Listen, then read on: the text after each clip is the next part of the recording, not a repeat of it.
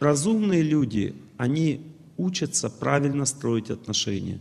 Это означает, что они учатся также понимать, что у меня за отношение к этому человеку. Вот если я чуть-чуть дистанцию взял побольше, я смотрю, как я к нему отношусь. Вот на дистанции можно служить близкому человеку? Можно. Так же, как служил. Дистанция нужна как раз в том, чтобы разобраться, что ты хочешь в этих отношениях вообще. Разберись. Пойми, чего. Может быть, ты хочешь просто наслаждаться ими, или все-таки ты хочешь заботиться об этом человеке. Если ты хочешь наслаждаться, тогда чему ты удивляешься? Значит, ты страдаешь по закону. Чем больше человек хочет наслаждаться близким человеком, закон есть такой, тем больше в его жизни от этого человека будет страданий. Чем больше я хочу служить близкому человеку, тем больше в моей жизни от него будет счастья. Все. Закон очень простой.